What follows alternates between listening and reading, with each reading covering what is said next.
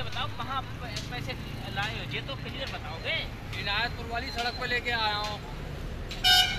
वहाँ क्लियर नहीं तो तो बता चुका हूँ। है दस पंद्रह सौ। ऊपर है लिखा इक्कीस बाईस। ऊपर है देखो मेन प्लेट थे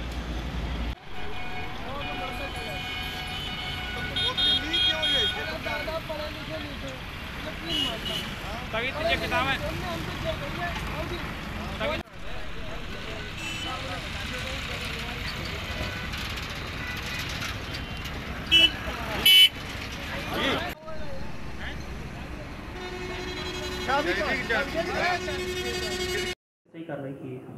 थाना फरीदपुर के अंतर्गत बीएसए के यहाँ से एक व्यक्ति के द्वारा तहरीर दी गई है कि वहाँ पे एक एक कबाड़ी के पास से 200 से अधिक पुस्तिका, पुस्तिकाएँ मिली हैं, जो छठी और सातवीं क्लास की हैं यूपी बोर्ड की।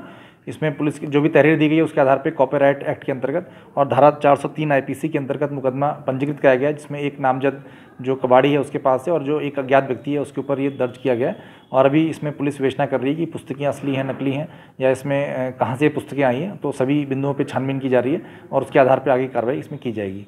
क्या निकल के आ रहा है? कोई गैंग है या कहीं से जो बुकें आ रही हैं जो लाके बेची जा रही हैं? नई किताबें और 21 और 22 का सिलेबस बताया जा रहा है। हाँ इसमें जो पुस्तकें मिली हैं वो बोर्ड से संबंधित हैं और ये जो चीज़ें हैं विवेचना में अभी आगे आएँगी कि कहाँ से आई हैं कौन इसको बना रहा था क्या चीज़ें सही असली हैं नकली हैं और कहाँ से आई हैं वो सभी चीज़ों पर अभी छानबीन की जा रही है। कौन से बोर्ड की बताई जा रही है? ये यूपी बोर्ड की पुस्तकें हैं।